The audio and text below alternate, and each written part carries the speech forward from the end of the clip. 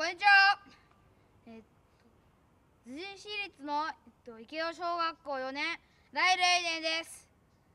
のっしりで、エスペランサとダビデをやっています。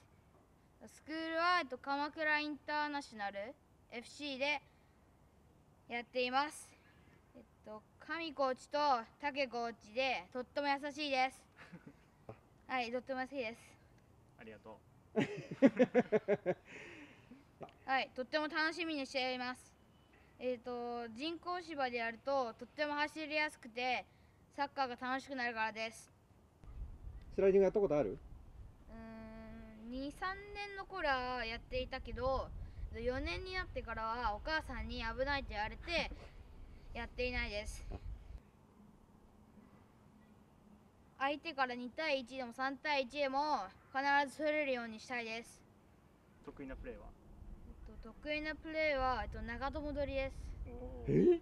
どんなやつ？長友取りって。